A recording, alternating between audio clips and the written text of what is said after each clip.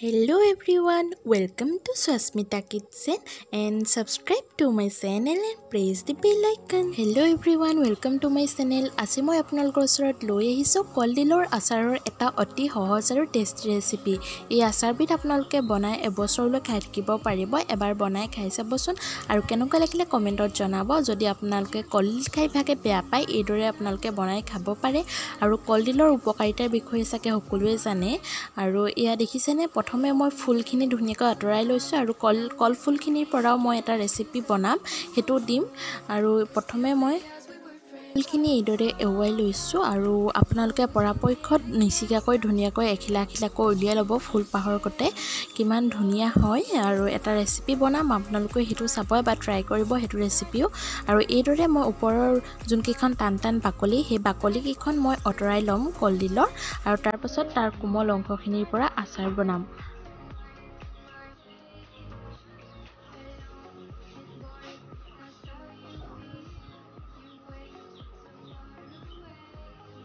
কলডিল কাটোতে সদায় হাতত মিঠাতেল অকণমান লগাই ল'ব তেতিয়া চেকা নেলাগে আৰু হাতখন ধুনীয়াকৈ চেকা নলগাকৈ কলডিল কাটিব পাৰিব। আৰু এইদৰে মই ফুলখিনি ছেপাৰেট কৰি লৈছোঁ আৰু এইখিনিৰ পৰা এটা ৰেচিপি বনাম সেইটো মই নেক্সট ভিডিঅ' এটাত দিম আপোনালোকে দেখা পাব।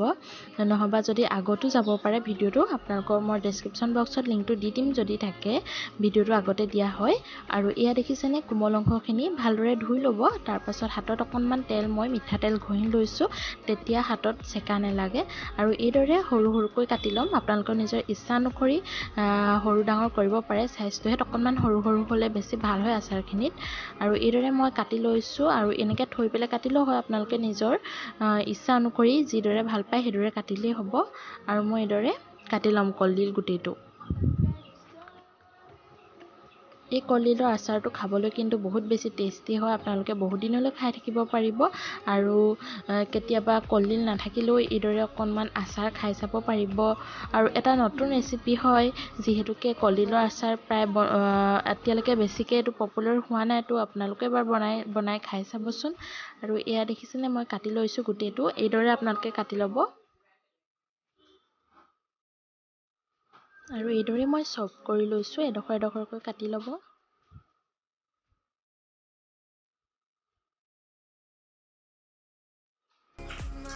যিমানেই পাৰে সিমানেই সৰু কৰিলে বেছি ভাল হয়। বেছি ডাঙৰ ডাঙৰ হৈ থাকিলে মানে আচাৰখিনি খাবলৈ ইমান ভাল নহ'ব। সেইটো কাৰণে যিমানেই পাৰে মই সৰু সৰু কৰিবলৈ ট্ৰাই কৰিছোঁ। এনেকৈ মই গোটেইখিনি কাটি ল'লোঁ। এয়া দেখিছে নিশ্চয় হাতত কোনো চেকা লগা নাই। আপোনালোকে নিশ্চয় লক্ষ্য কৰিছে। মই গোটেইখিনি কলডিল এইদৰে কাটি ল'লোঁ। এয়া দেখিছেনে? সৰু সৰুকৈ গোটেইখিনি কাটি লোৱা হৈ গ'ল। আপোনালোকে এইদৰে কাটি ল'ব। আৰু তাৰপাছত মই কলডিলখিনি বইল কৰি ল'ম। যিহেতুকে কলডিলৰ আচাৰ হয় এইখিনি অকণমান বইল কৰিবই লাগিব। নহ'লে কেঁচা কেঁচা ভাৱটো আহিব। সেইটো কাৰণে মই এইখিনি বইল কৰি ল'ম। কমেও দহ পোন্ধৰ মিনিটমান সময় গেছৰ ফ্লেমটো মিডিয়ামত ৰাখি কলডিলখিনি বইল কৰি ল'ব। আৰু এয়া দেখিছেনে? মই কলডিলখিনি পানীত দি দিছোঁ আৰু গেছৰ ফ্লেমটো মিডিয়ামত ৰাখি মই বইল কৰি ল'ম। কমেও বাৰৰ পৰা দহৰ পৰা বাৰ মিনিটমান সময় মই এইখিনি বইল কৰি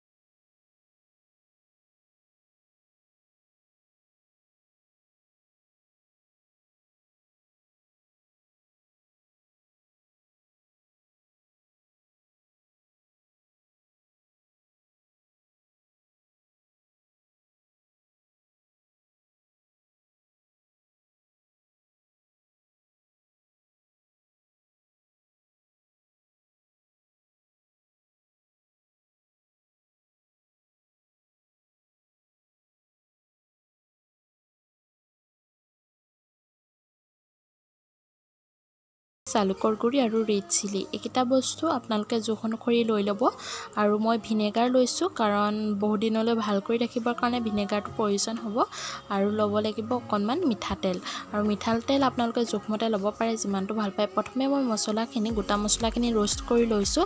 তেতিয়া বেছি ভাল হয় গোন্ধটো ধুনীয়া আহে আৰু যেতিয়ালৈকে ফুটিবলৈ ধৰে তেতিয়ালৈকে মই এইখিনি ৰ'ষ্ট কৰি ল'ম। আৰু গেছৰ ফ্লেমটো এইটো ল'ত ৰাখি পেলাই ৰ'ষ্ট কৰি ল'ব গোটা মছলাখিনি। নিশ্চয় লক্ষ্য কৰিছে অলপ অলপ ফুটিবলৈ ধৰিছে গোটা মছলাবিলাক। এতিয়া মই সেইখিনি গ্ৰাইণ্ড কৰি ল'ম মিক্সাৰত কৰিলেও হ'ব নহ'বা আপোনালোকে খুন মিক্সাৰ নাথাকিলে খুন্দুনাটো গ্ৰাইণ্ড কৰি ল'ব পাৰে। লক্ষ্য কৰিব বহুত বেছিও গ্ৰাইণ্ড কৰিব নালাগে অকণমান গোটা গোটা হৈ থাকিলে মছলাটো বেছি ভাল হয় আচাৰত অকণমান গোটা গোটাকৈ দি দিবও পাৰি। আৰু এতিয়া মই নিমখখিনি তেলত দি লৈছোঁ আৰু তেল মই ডেৰ কাপমান দিলোঁ আপোনালোকে জোখ অনুসৰি দিব তাতকৈ অকণমান বেছি দিলেও কোনো কথা নাই তেলটো নিজৰ ইচ্ছা অনুসৰি দিব পাৰে আৰু যোনখিনি মছলা মোৰ আছিলে হালধি জলকীয়া সেইটো গেছৰ ফ্লেমটো যেতিয়া মই তেল তেলখিনি গৰম কৰি ল'লোঁ আৰু গেছৰ ফ্লেমটো মই নুমুৱাই পেলাইনিহে এই মছলাখিনি দিছোঁ আৰু এতিয়া গোটা মছলাখিনি দিছোঁ। গেছৰ ফ্লেমটো দি থ'লে মানে মছলাবিলাক জ্বলি যোৱাৰ সম্ভাৱনা থাকে সেইটো কাৰণে অফ কৰি গৰম তেলত মই গোটেই বস্তুখিনি ধুনীয়াকৈ মিক্স কৰি ল'ম। আৰু এয়া মিক্স কৰা হৈ গৈছে এতিয়া মই মছলাখিনি ধুনীয়াকৈ কলডিল যোনখিনি আমি শুকুৱাই থৈছিলোঁ ৰ'দত সেই কলডিলখিনি দি দিম। আপোনালোকে ৰ'দত যদি ভালদৰে শুকুৱাব নোৱাৰে সেইখিনি অকণমান পানীটো ছেপাৰেট হ'বলৈ দিব ফেনৰ তলত ৰাখি পেলাইনি আৰু পানীটো অকণমান ছেপাৰেট হোৱাৰ পিছত কেৰাহীখনত অকণমান গৰম কৰি ল'ব পাৰে যদিহে পানীখিনি ধুনীয়াকৈ শুকাই যোৱা নাই। নহ'বা খুব চোকা ৰ'দত এদিন বা দুদিন দিলে মানেও হৈ যায়। আৰু এতিয়া মই মছলা আৰু তেলখিনি দি দিছোঁ আৰু অকণমান তেল যিহেতুকে কেৰাহীখনত লাগি আছিলে সেইটো কাৰণে অকণমান কল কলডিল দি পেলাইনি সেই তেলখিনিও ধুনীয়াকৈ মই লৈ লৈছোঁ। লোকচান হ'ব হ'বলৈ দিয়া নাই। আৰু এয়া দেখিছেনে মছলাখিনি? ধুনীয়াকৈ এতিয়া মই মিক্স কৰি ল'ম।